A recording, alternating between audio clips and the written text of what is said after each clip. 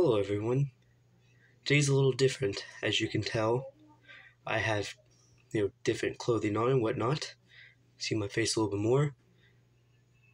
I wanted to make a video updating regarding my channel. Uh, I changed my YouTube channel name. It's a little different now. Um, I wanted to give insight on what the channel's name is about. Uh, most of you might not most of you might not be able to pronounce it, but it uh, is a Japanese name meaning reason. Um, and I just wanted to give reasons to why I chose this.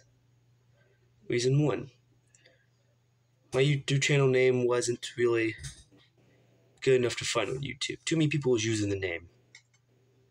And it was just really hard for people to find it. Number two, I really like Japanese stuff and thought it'd be really cool to use it. And then number three, um, I thought, just thought it was cool. Anyways, uh, just thought I would share that out, and uh, I'll see you in the next video.